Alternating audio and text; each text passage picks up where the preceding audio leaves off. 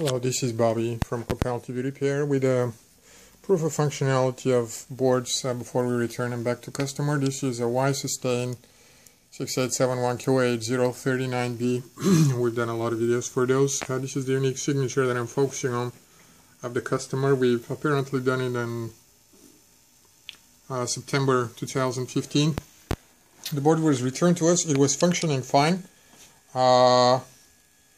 Uh, it is out of warranty at this time if it was indeed on 925, but there, there, is, there was nothing wrong with it, so we're not charging anything uh, for that. The top buffer is ours, the bottom buffer is a customer's buffer. I will, I'm making a video.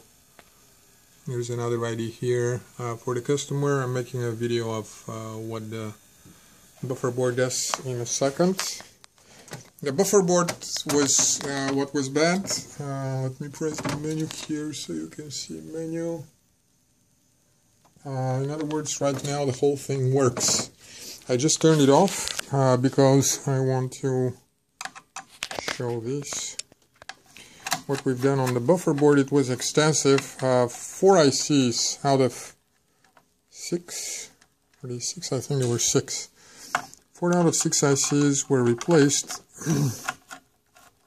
That's extensive. It's almost a brand new buffer, and frankly, I'm tempted to do the other two as well, uh, which will make it a practically brand new buffer.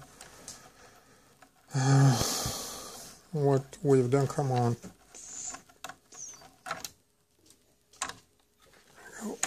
Uh, what we've done was replace the top IC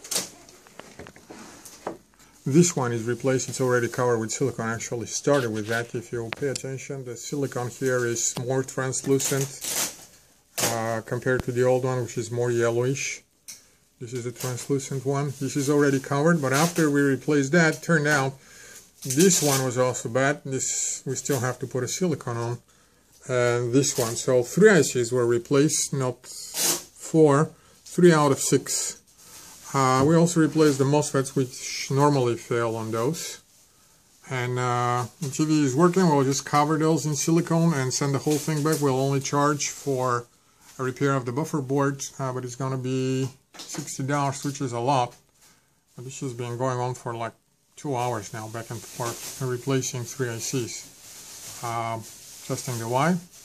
Hopefully that will take care of it. Uh, don't forget there are three ICs that are waiting to fail and we don't know when they will fail.